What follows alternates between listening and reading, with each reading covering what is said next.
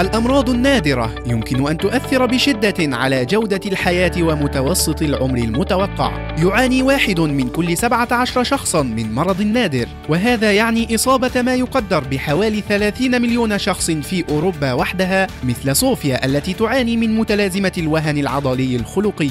معظم الأمراض النادرة لها أصل وراثي، فبفضل التقدم المحرز مؤخرا في التسلسل الجيني والتقنيات المبتكرة يمكن للباحثين الآن دراسة الأمراض النادرة وتحسين تشخيصها وتطوير علاجات أكثر فاعلية. وبسبب ندرتها يمكن أن يكون البحث والتطوير العلاجي للأمراض النادرة أمرا صعبا.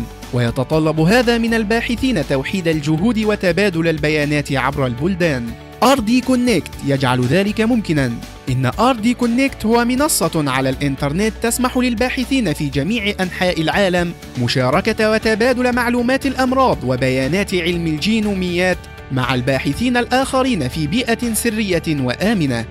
باستخدام الأدوات المعلوماتية الحيوية المتاحة في منصة RD Connect فحص الأطباء الجينوم الخاص بصوفيا وحددوا بدقة العيب المسبب لمرضها. رأوا أنها ورثت جينا معيبا من كل من والديها وهذا ساعد الأطباء في الحصول على العلاج المناسب لصوفيا وشرحوا لوالديها خطر وجود طفل آخر بنفس الحالة. كما يوفر أردي كونكت للباحثين إمكانية الوصول الآمن إلى قواعد البيانات التي تحتوي على معلومات عن المرضى المصابين بأمراض نادرة وكذلك سجلات المرضى والبنوك الحيوية والعينات البيولوجية مثل الدم والحمض النووي. لضمان حماية خصوصية المريض دون المساس بالبحوث واكتشاف الدواء يقدم فريقنا من الخبراء في المسائل الأخلاقية والقانونية والاجتماعية التوجيه للباحثين للعمل على أنسب النماذج لتبادل البيانات. يشارك المرضى المصابين بالأمراض النادرة وأسرهم بفاعلية في RD Connect لضمان أن احتياجاتهم واهتماماتهم وتوقعاتهم يتم تناولها.